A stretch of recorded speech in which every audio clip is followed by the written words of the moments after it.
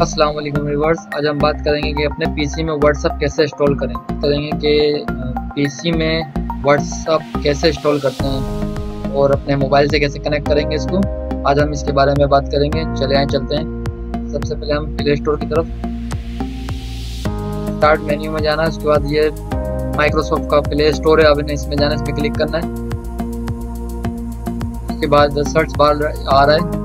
Search bar में आप search कर देंगे व्हाट्सअप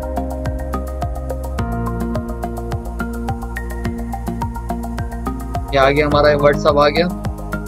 व्हाट्सअप डेस्कटॉप ऐप हम सिंपल इस पर क्लिक कर देंगे।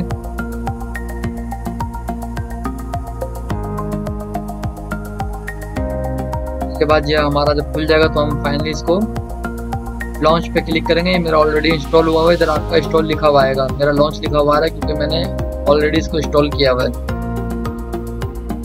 तो आप इसको इंस्टॉल करने के बाद आप अपने मोबाइल से कैसे कनेक्ट करेंगे?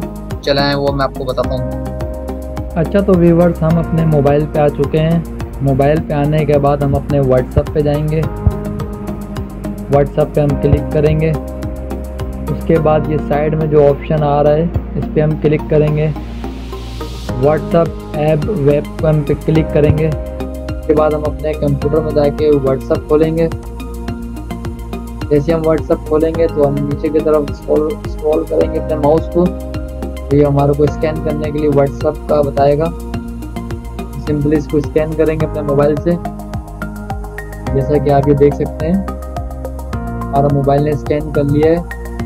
और अब हमारे पीसी में भी व्हाट्सअप ऑन हो चुका है और मोबाइल में भी ऑन हो चुका है। दोनों जगह हमारा मोबाइल से कनेक्ट हो गया है। पीसी में भी हमारा ये ऑन हो चुका है। जैसे कि आप देख सकते हैं। Thank you for watching